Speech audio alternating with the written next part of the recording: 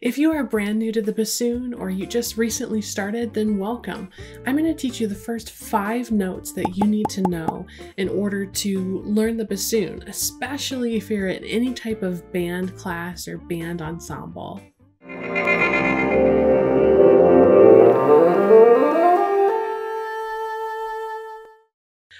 Everyone, I'm Natalie, and if this is the first time that we're meeting, consider subscribing so that you don't miss out on future videos that I make that could help you in the future. The first note you're going to learn is F, and it's by far the easiest note to play because all you have to press down is this whisper key in your left hand.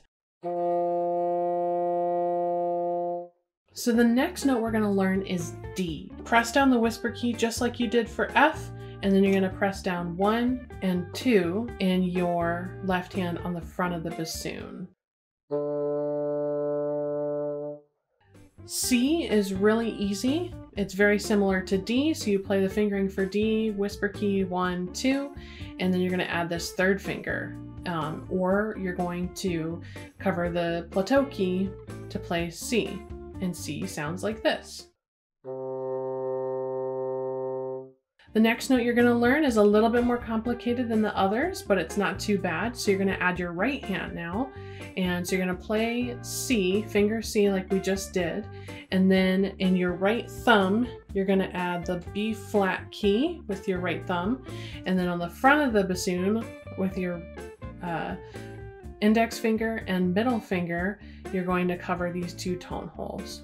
So you, all in all, you've got whisper key, one, two, three in your left hand, and you've got B flat key with your thumb in your right hand, one, two, and that's your B flat.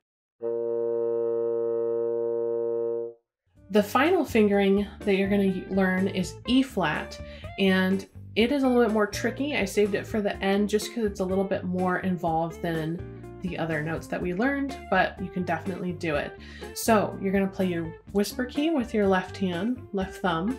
Then on the front of the bassoon, you're going to do what's called a forked fingering, which means you're going to play with your first finger and your third finger, but you're going to leave your middle finger, your second finger open, and then you're going to use your left pinky to play this upper key right here, the resonance key.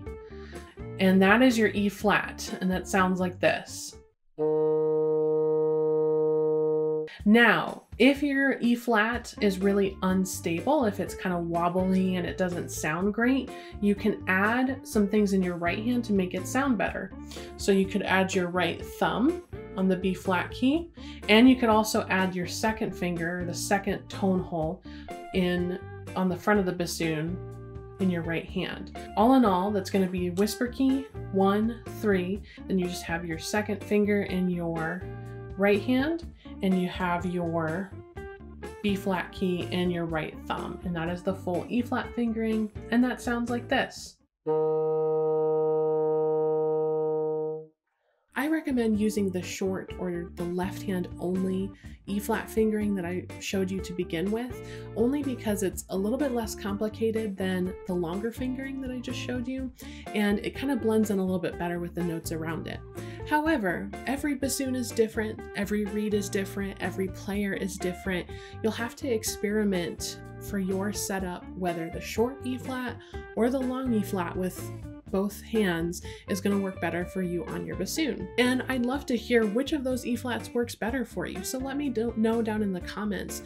Do you like the short E flat or the long E flat better? What sounds better for you? So there you have it. Those are the first five notes that you need to learn bassoon, especially in a band class setting. If you found this video to be helpful for you, please give it a thumbs up. Make sure you subscribe to the channel and leave a comment down below with any questions or comments that you have about this video. I'll see you in the next one.